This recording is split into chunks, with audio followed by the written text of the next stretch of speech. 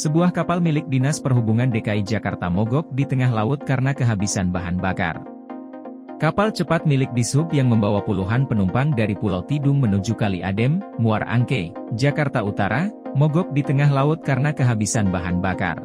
Beberapa penumpang terlihat panik, namun petugas Dishub mencoba menenangkan para penumpang kapal tersebut, meski kejadian ini tidak menimbulkan korban jiwa, namun cukup membuat para penumpang sedikit khawatir dan mengakibatkan jadwal perjalanan tertunda. KM Samudra Biru mengalami mati mesin dan terombang-ambing di tengah laut Kepulauan Seribu pada Kamis, 7 September 2023 siang hari.